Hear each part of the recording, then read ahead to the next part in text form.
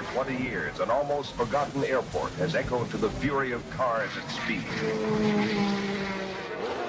Sebring was as close as you get to the brother of Le Mans. If you're ever going to get a taste of what it's like to be in an endurance race, this is it. Just a week before, he had broken his foot in a motorcycle race. And I said, You better not do this. He said, No, he said, I can do it. I, I can do it.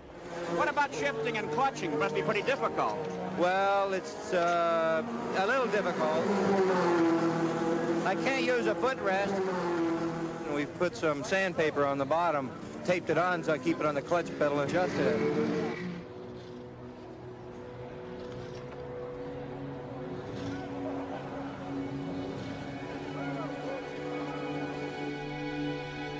We went for it.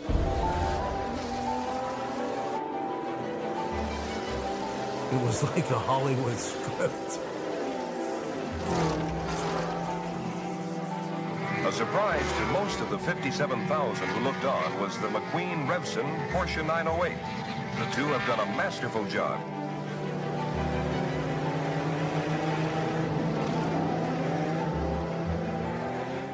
What was incredible about that race is suddenly they were winning.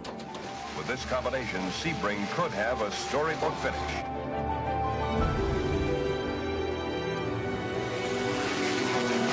Approaching the 11th hour, the Porsche closes the gap on the faltering Ferrari.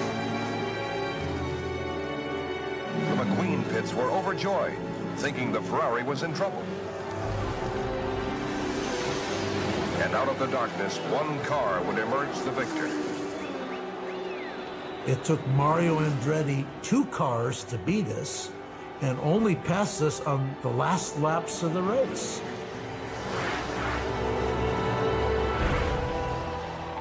The 12 hours of Sebring was over, and Ferrari had won.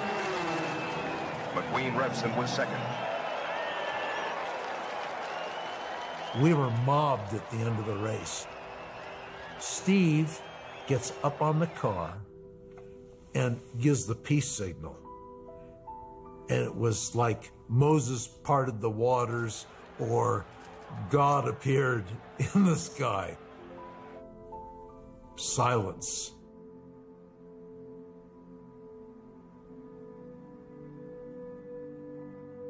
That was my biggest thrill for me because I guess being an actor, people don't really expect you to do as well. And uh, I was a big man in my house with my kids for a while anyway. That was a major, major happy time in his life. I remember when he came home.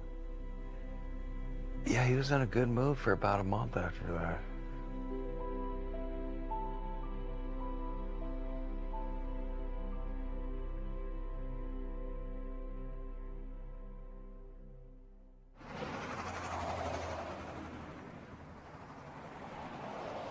After the Sebring race, he wasn't looked at just like, oh, he's the actor superstar Steve McQueen.